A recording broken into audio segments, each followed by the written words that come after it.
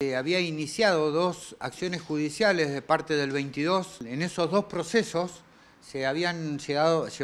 eh, a, cabo algunos acuerdos que fueron hace aproximadamente dos meses,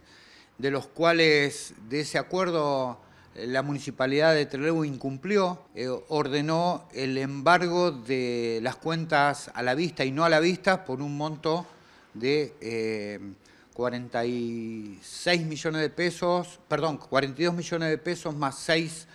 millones de pesos que comprenderían los intereses y costas del proceso. Este monto en realidad todavía no, no está ejecutado, las cuentas están liberadas, no, no es que se llevó adelante la ejecución del embargo. Los montos actualmente no están inmovilizados, eh, la municipalidad tiene la libre disponibilidad de los de, las cuentas y en el otro juicio, que también tiene un acuerdo que,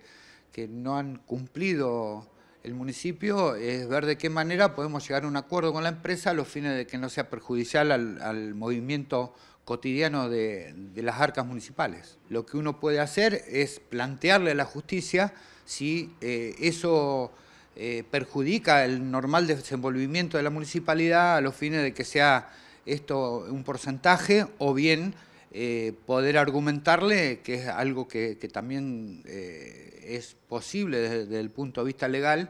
es que no está presupuestado en este presupuesto del año. Entendemos que de la demanda que fue contestada en tiempo y forma,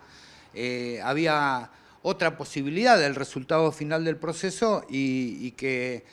con este acuerdo y la paralización del expediente tanto tiempo no permitió de que se resuelva como cualquier litigio judicial por la resolución de un, de, un tercero imparcial que justamente es el que resuelve el conflicto. Y que venga un embargo de esta manera a cuatro días, después de tantos años que la empresa, la, empresa tiene creencias y el municipio no abonó, eh, nos llama la atención y, la verdad que